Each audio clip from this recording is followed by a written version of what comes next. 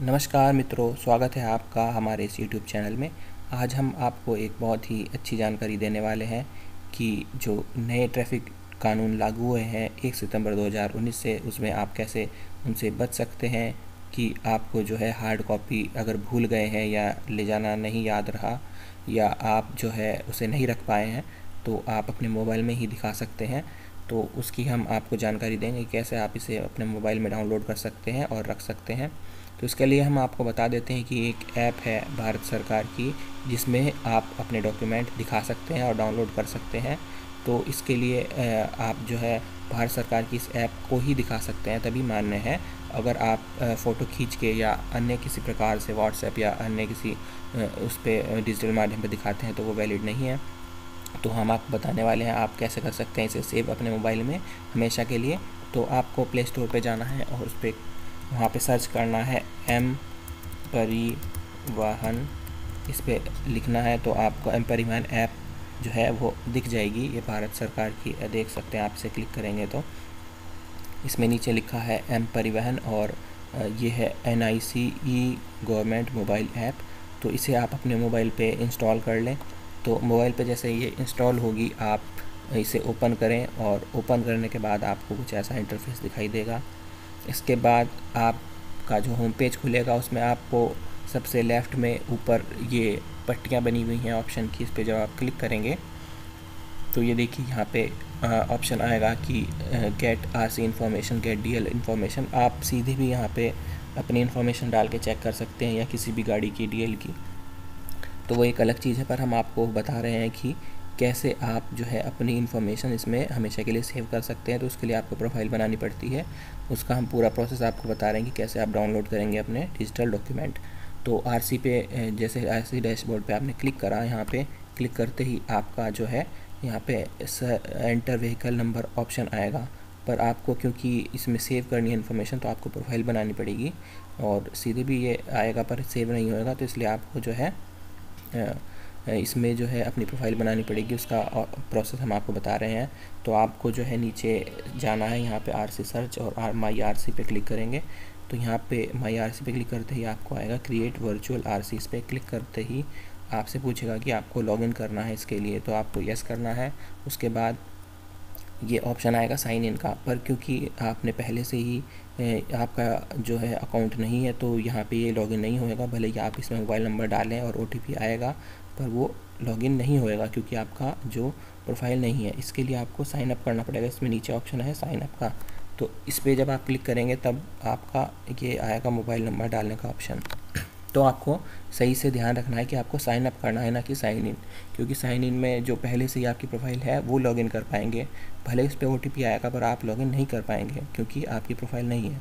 तो sign up पे आपको क्लिक करके मोबाइल नंबर डालना है और यहाँ पे कंटिन्यू पे क्लिक करना है। कंटिन्यू पे क्लिक करने के बाद आई हैव रीड ये टर्म्स एंड कंडीशन इस पर क्लिक करके जब ये हो जाएगा, इस पर आपको सबमिट का बटन दबाना है। सबमिट के बाद आपके मोबाइल पे एक ओटीपी भेजा जाएगा, जिसे आपको वेरीफाई करना है। और ये देखिए आपका ओ आएगा। ऐसे करके आपको यहाँ पे ओटीपी का अपना कोड डालना है और इसके बाद आपको वेरीफाई पे क्लिक करना है। वेरीफाई पे क्लिक करते ही आपका जो है वेरिफिकेशन प्रोसेस स्टार्ट हो जाएगा। फिर उसके बाद एक नया फॉर्म खुलेगा, उसमें आपको अपना नाम, आपका मोबाइल नंबर तो पहले से ही आ चुका है। आपका स्टेट और आपका पिन कोड ये भरना है। उसके बाद साइन अप पे क्लिक कर देना है। साइन अप पे क्लिक करते ही आपकी जो है वो प्रोफ़ाइल बन जाएगी। इसके बाद हम आपको पहले आर सी डाउनलोड करने का ऑप्शन बता रहे हैं, फिर आपको हम बताएँगे कि डीएल कैसे डाउनलोड करते हैं। तो इस पर क्रिएट वर्चुअल आईडी पे आप क्लिक करेंगे और ये देखिए आर सी सर्च का ऑप्शन जैसे ही आएगा इसमें तो आपको देखना नीचे आर सी सर्च का ऑप्शन आएगा। इसमें आपको अपना व्हीकल नंबर डालना है जिसकी आर सी आपको डाउनलोड करनी है। उस पर यहाँ पे आप आर सी नंबर डालेंगे और सर्च पे क्लिक करेंगे। सर्च पे क्लिक करते ही आपकी सारी डिटेल आर सी की आ जाएगी। तो यहाँ पे आर सी की डिटेल भी आ जाएगी। उसके अलावा आप अपना चालान अगर कोई है तो वो भी आप यहाँ पे देख सकते हैं।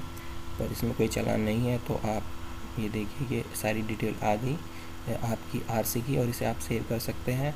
और यहाँ पे क्लिक करेंगे आप ऐड टू माई डैशबोर्ड पे तो ये आपकी सेव हो जाएगी।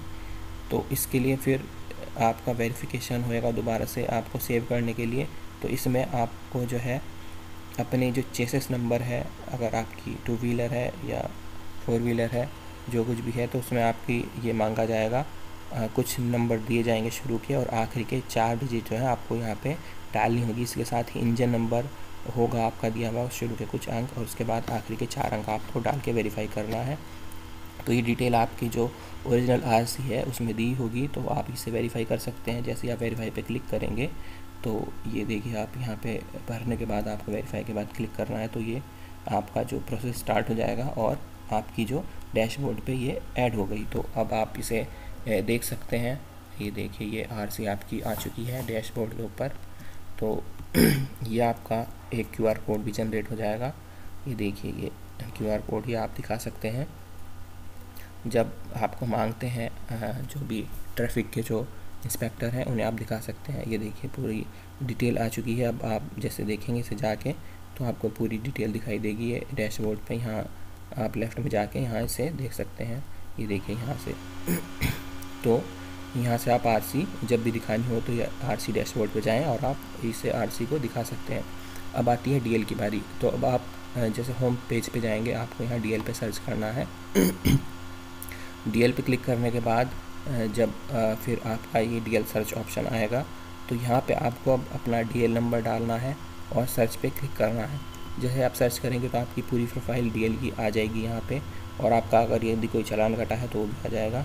तो इसके बाद आपको क्लिक करना है ऐड टू माई डैशबोर्ड इसे सेव करने के लिए, हमेशा के लिए तो जैसे आप क्लिक करेंगे तो आपका ये डेट ऑफ़ बर्थ मांगेगा डीएल को वेरीफाई करने के लिए। आपको अपनी डेट ऑफ़ बर्थ या जिसका भी डीएल है, उसकी डालनी है और इस पर वेरीफाई पे क्लिक कर देना है। वेरीफाई पे क्लिक करते ही आपका जो प्रोसेस है, वो स्टार्ट हो जाएगा वेरिफिकेशन का और आपको बताएगा कि आपका जो डीएल है, वो डैशबोर्ड पे ऐड हो गया है।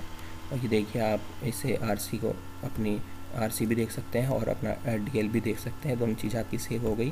और ये देखिए, आप जब भी आपको मांगा जाए तो आप ये दिखा सकते हैं अपना डीएल और आपको अब हार्ड कॉपी ले जाने की ज़रूरत नहीं है। आप अपना डीएल मोबाइल में ही दिखा सकते हैं। तो ये देखिए, अब आप जो है होम पे जाके ये देखिए, ये आर सी यहाँ से आर सी दिखा सकते हैं और ये आर सी डैशबोर्ड आ गया आपका और ये डी एल का डैशबोर्ड है। आप यहाँ पे क्लिक करेंगे तो फिर आपका डी एल खुल जाएगा। तो ये दोनों चीज़ आप दिखा सकते हैं। पर आप ध्यान रखिए कि ये दोनों जो चीज़ है, ये आप इसी ऐप में दिखाएँगे तभी मान्य होगी।